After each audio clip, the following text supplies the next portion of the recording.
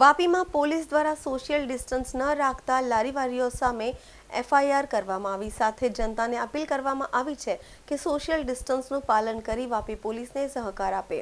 વાપીમાં police દ્વારા social distance ન રાખતા લારીવાલો ઉપર એફઆઈઆર કરવામાં આવી. સાથે જનતાને અપીલ કરવામાં આવી છે કે સોશિયલ ડિસ્ટન્સનું પાલન કરી વાપી પોલીસને સહકાર આપે.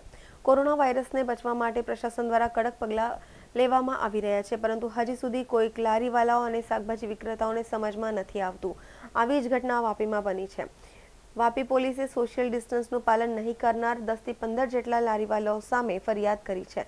સાથે શાકભાજી લેવા માટે આવનાર જનતાને પણ અપીલ કરાઈ છે કે નિયમોનું પાલન કરી વાપી પોલીસને સહકાર આપે.